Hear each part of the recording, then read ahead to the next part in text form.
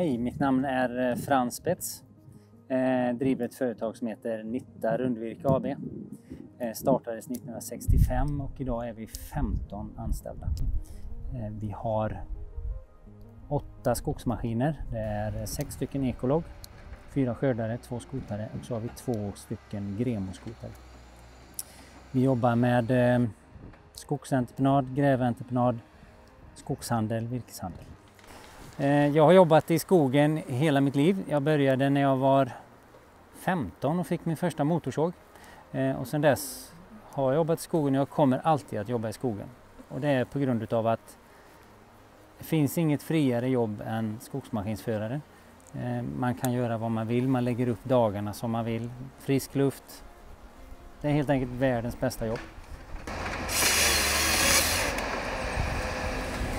Största fördelen med Ekologs skördare som jag ser det, det är ju att dels den starka kranen, dels har de en kapacitet i pumpar och det som gör att jag som förare, jag har ingen begränsning utan det är hela tiden jag som måste trycka på lite till, bli lite bättre. Jag måste hela tiden sträcka på mig för att kunna leva upp till vad maskinen har för kapacitet. Under dagen har jag även visat hur man kan använda pendelarmarna.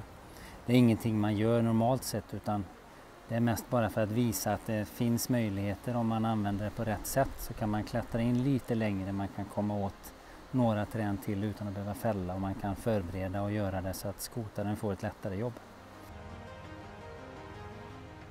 Till våra gallringsmaskiner, skördarna som då är ekologskördare, eh, så har vi valt att använda gremoskotare. Största fördelen med det är ju att deras lastindex, förhållandet mellan egenvikt i maskinen och den lastvikten de tar på lastbäraren, den är suverän.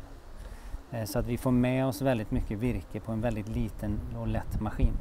Sen är den otroligt lätt körd. Den är, eh, tar liten plats i gallringarna. Och det är A och O, vi som jobbar hos små privata markägare. Sammanslagningen mellan Gremo och Ekolog ser jag ju bara som fördel.